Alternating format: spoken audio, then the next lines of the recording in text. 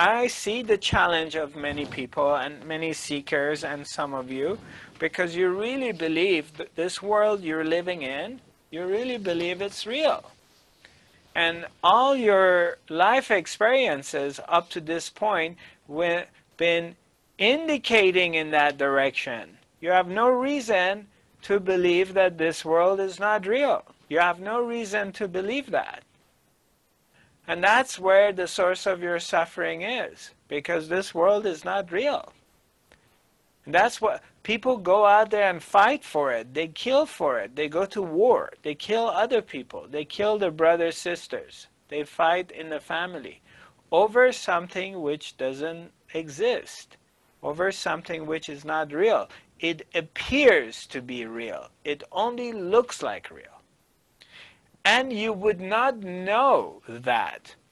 You, there's no way for you to know that it's not real until your attention is pushed in, in inside to look for that which doesn't change. Otherwise, these are words. I can sit down here and tell you all day long that the world is not real. It doesn't make any sense to you because you have to discover what is real first. And that's a part of my goal. When we do this academy, the idea and what I do, whether I'm working with you on private session, if it's a life training program or it's a group situation, we I I always do the same thing. Always always is to take you inwards, to force you to switch your mind inside, to keep your mind on that which doesn't change.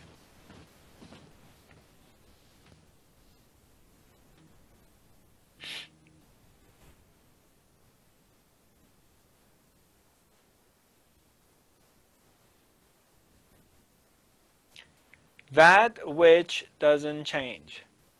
What is it that doesn't change? And when you go inwards and you bring your attention and you look inside and you bring your attention to the source of your thoughts, then everything becomes quiet. Everything becomes silent you bring your attention inwards towards the source of your thoughts. And then everything is still. Everything becomes still. There's no movement any longer. It's absolutely becomes still.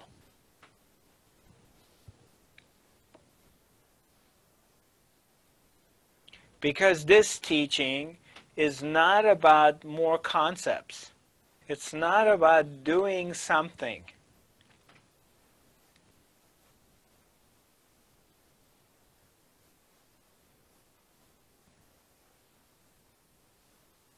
It's not about learning another technique to manifest something, to create a reality for yourself.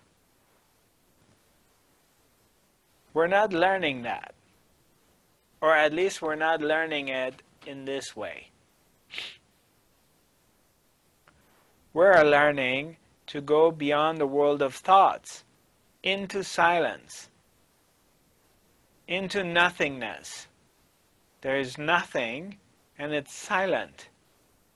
And that's where you tap into the bliss and the love of God.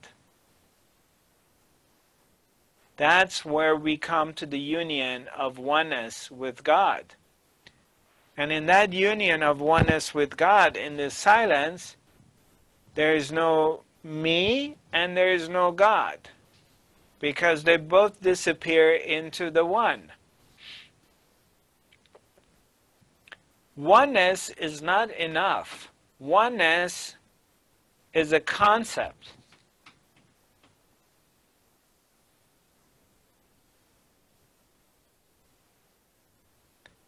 Oneness against what? You're one against what? There has to still be a duality. You cannot be one and know it. Because if you're one and you're knowing it, then you're comparing it to something else. Where I'm inviting you to come with me and to discover for yourself, there is not one or two, there is not you and God, there's nothing. It all disappears. Because there's nothing to compare it against. And that's where, when we do this work, that's how the healing happens. People think that I have the power of healing them. But that's not true. I don't have the power to heal anything or anyone. It's not my power. It's the fact that you're willing to dive into the silence. So you give me a chance to direct you back into your inner silence. So you fall into silence. You become absolutely still and quiet, and there's no mind. Then you are one with God. And that's where the healing happens. That's where the love comes. That's where the joy comes. That's where liberation comes. That's how you get liberated. You free yourself. Uh, sometimes the healing is physical, sometimes the healing is emotional or spiritual or mental. But it all comes from the source of yourself. It all comes from the source. And there's only one source, there's no different sources. And the source is inside yourself, it's within yourself. How cool is that? Isn't that like amazing? That in fact, you don't need to go anywhere and you really don't have to do anything to get it because it's already inside you. All you have to do is pay attention to it. It can't be any easier than that. It's the direct way that's the direct experience of your 5D quantum awareness. A direct experience, directly without any kind of zigzagging and exiting and going into anything else, directly you reconnect and connect with who you are, the truth of who you are. And you enter into the world of wisdom and direct knowledge within yourself. It's here, right now, nowhere else.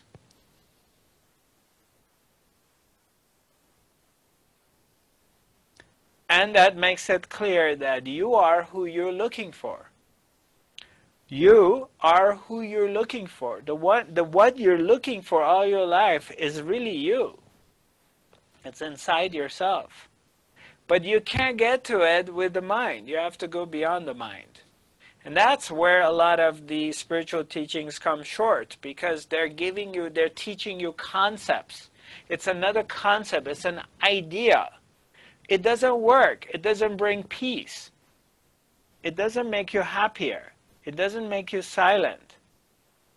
Because it still requires a level of mind activity, that the mind has to work on something in order to get to who you are.